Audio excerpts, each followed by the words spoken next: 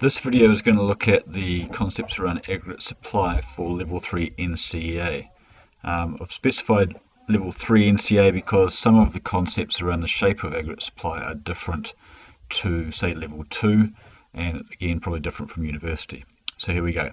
So in NCEA level 3 economics we have our aggregate supply curve which has a very particular shape as you can see. Um, starting off initially quite flat at low levels of real GDP and then becoming increasingly steep. That shape's important because it has implications for inflation and how that changes depending on how um, active our economy is and how close to full employment the economy is operating.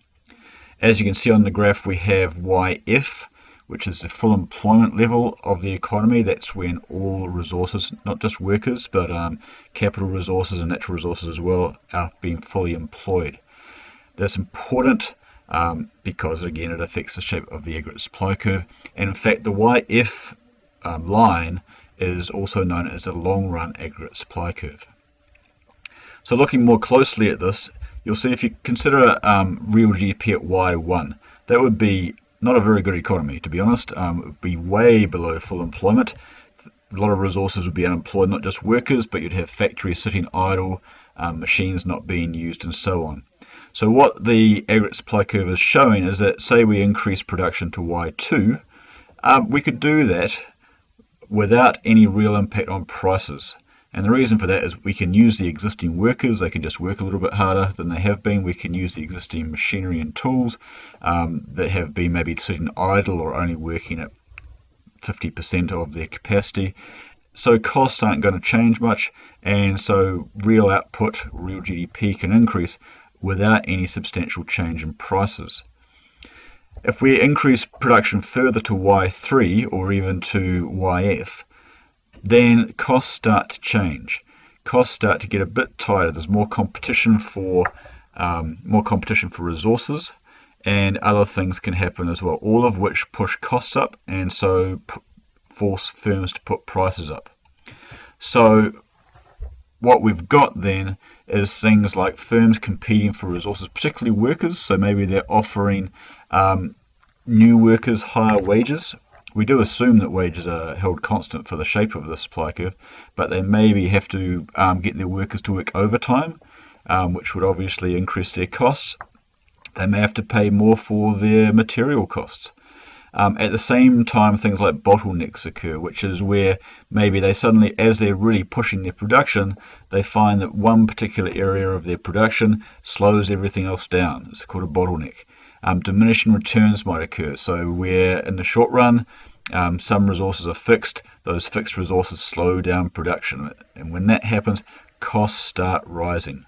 So firms, when we get close to YF, firms across the country are only going to be prepared to try and increase their production if they can get if they can push prices up at the same time to cover those rising costs. In effect, what that means is increases in real GDP increasingly come at the cost of inflation and prices going up. And you can see that from the shape of the curve. Now that's really important for when you're considering government policies. There's no point trying to boost demand in the economy when we're operating near full employment because mostly what we get is inflation instead of increasing real GDP. So what factors are going to shift the aggregate supply curve? It comes back to costs, costs, costs. If costs change, that will affect aggregate supply. It is quite similar to the um, regular market supply curves in this respect, although with some differences. So what's going to affect that? Things like the cost of imported materials. Oil is particularly important because it affects the price of um, petrol and diesel and everything else that affects transport throughout the country. So costs of imported materials, be clear this is materials that are used throughout the country. Um, the cost of one item that is if used in one market is unlikely to have a big impact, but things like oil that affect the whole country. Um, as well as that, I don't think I've got it on here, but things like costs like electricity um, will also have a nationwide effect on costs. Those will all decrease aggregate supply if they go up. Wage rates, of course, the cost of labour, if that's increasing, that's going to decrease aggregate supply. If wage rates are held constant or falling, then that will increase aggregate supply. The exchange rate. Not going to go into a lot of detail about this, but the exchange rate directly affects the cost of imported materials. When the exchange rate appreciates and goes up, it makes um, our imports cheaper and therefore imported materials get cheaper. If our exchange rate's falling, the opposite applies. Productivity is really critical to aggregate supply. If we can improve our productivity, and again, this is nationwide productivity, be clear about that, then that means that on average, firms can produce each product more cheaply, and that would increase aggregate supply. So often the government might do things to try and boost productivity around the country, um, and obviously a better educated um, population would also help with that. Government regulations can affect businesses' costs, Mr. Brackett there. Um, so government regulations like how much paperwork a firm has to do, um, how much health and safety they have to comply with, and um, how much tax they have to pay. A whole pile of things affect, can affect costs for businesses. And if you pay attention to the news, you'll know that there's quite a lot of um, discussion often around um, the Resource Management Act in New Zealand um, which does have quite a lot of regulation involved and adds to businesses' costs. On the other hand, it does help to protect their environment. Um, but so all that paperwork has an impact on costs. If we can cut those regulations, then you would expect aggregate supply to increase. And finally, supply side government policies. They're called supply side government policies because they affect aggregate supply. Um, if the government can do things like that will improve productivity, that will reduce regulations, then those are supply side government policies because they will help to increase aggregate supply. So just for as an example, an increase in aggregate supply would look like this.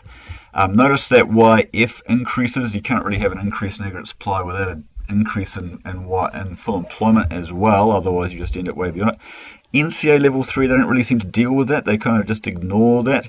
But certainly um, for um, scholarship, you would probably consider that full employment level would need to increase. For example, if productivity across the country increased, then the total production possible by our economy would increase, and that's what YF shows. So simply shift your curve to the right, make sure you've got the arrow in there to show the change, AS dash or AS1 to show the new aggregate supply curve. So that's it from me. Just remember the main thing affecting aggregate supply is cost. Pretty much everything else is something that affects those costs. Thank you.